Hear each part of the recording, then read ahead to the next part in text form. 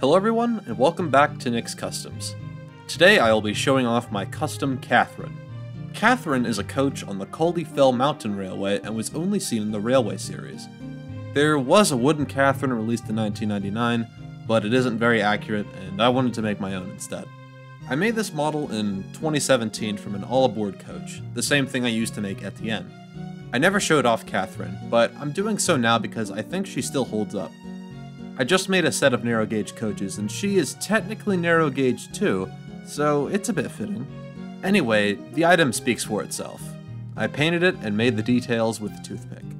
The face is based off of this illustration. That's all I have to say about Catherine, though. I would like to make all of the Culdee Fell engines at some point, but I don't have a need for them right now.